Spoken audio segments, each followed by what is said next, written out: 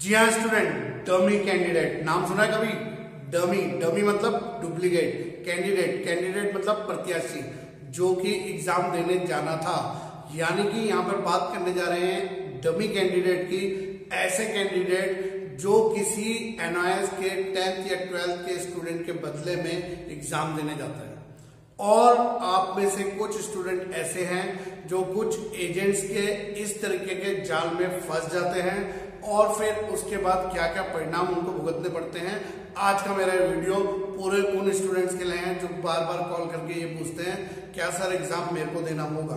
तो आज के इस पूरे वीडियो में हम लोग बात करेंगे इसी बारे में कि कौन होते हैं डमी कैंडिडेट्स और अगर डमी कैंडिडेट आपका एग्ज़ाम दे देता है तो इसके बाद में परिणाम क्या क्या हो सकते हैं। तो चलिए स्टूडेंट स्टार्ट करते हैं।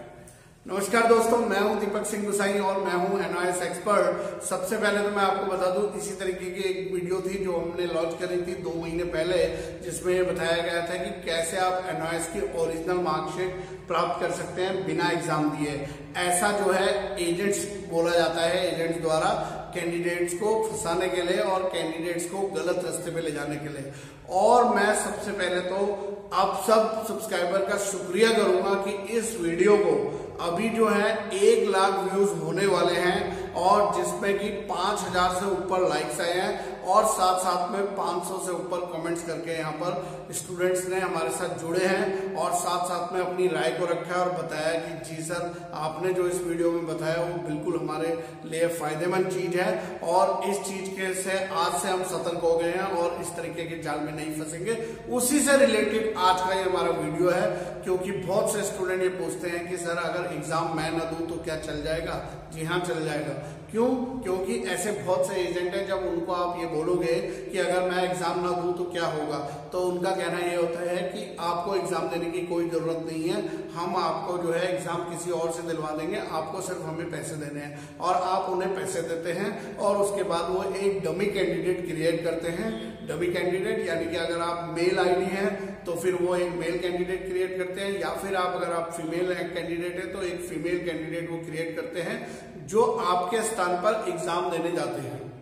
अब आप बोलिए कैसे पॉसिबल है क्योंकि आई कार्ड है, आधार कार्ड है फ़ोटो लगा है स्कैनर है कैमरे हैं, फिर भी। ये सब बहुत मुश्किल है, बहुत ही मुश्किल है। लेकिन कुछ ऐसे एजेंट हैं जो किसी तरीके से इसकी भी तैयारी कर लेते जी हाँ सबसे पहले देखिए, मैं उन स्टूडेंट्स को आगाह करना चाहता हूँ, जो स्टूडेंट ये बोलते हैं कि हमारे को तो एग्ज़ाम देने की ज़रूरत ही नहीं है। हमने सिर्फ़ एग्जामिनेशन फॉर्म भर दिया है एडमिशन ले लिया, अब हमारी जगह कोई और एग्ज़ाम देने जाएगा और हमको तो अपनी जो है ओरिजिनल पास मार्कशीट मिल जाएगी। लेकिन ऐसे स्टूडेंट्स को मैं बताऊँ कि अगर इस प्रक्रिया में कहीं पर अगर जो भी कार्रवाई होती है और वो कार्रवाई हो गई तो उसका क्या क्या भुगतान आपको करना पड़ेगा।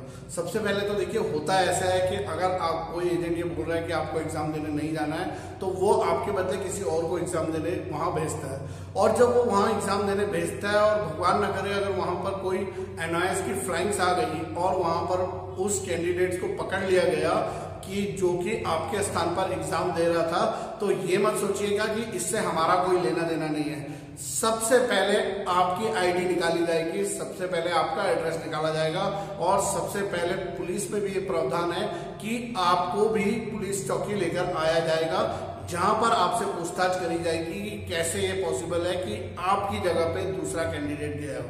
और पूरी छानबीन होने पे अगर कहीं पर भी आप भी गुनागार नज़र आते हैं तो आपको भी उतनी ही सजा मिलती है जो सजा उस एग्ज़ाम देने वाले को मिल रही है और साथ साथ में जिस एजेंट ने ऐसा कोई कार्य करा है, जहाँ पर डुप्लीकेट कोई आई कार्ड बनाकर या फ़ोटो लगाकर दूसरे कैंडिडेट को भेजा। जबकि आज के समय में एनआईओएस इतना स्ट्रिक हो चुका है कि बहुत ही तरीके से एग्ज़ाम लिए जाते हैं और बहुत ही अच्छे तरीके से चेकिंग करी जाती है कि कहीं इस तरीके का कोई भी डमी कैंडिडेट अंदर ना आ जाए।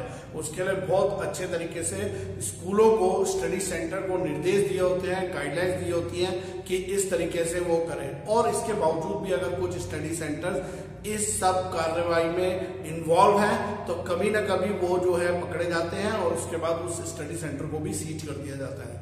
और ऐसे में सिर्फ़ घाटा एक ही जने का होता है, वो कैंडिडेट जिस कैंडिडेट ने अपनी जगह दूसरे बंदे को एग्ज़ाम देने के लिए भेजा है, या फिर उसको पता भी नहीं है कि उसकी जगह कौन एग्ज़ाम देने जा रहा है, क्योंकि उसने एक तो अपने जो है कहीं ना कहीं पे बहुत सारा पैसा दे दिया है और दूसरा, एक इलीगल काम को किया है जो कि उसके द्वारा किया गया है और जिसका परिणाम उसको भुगतना पड़ेगा।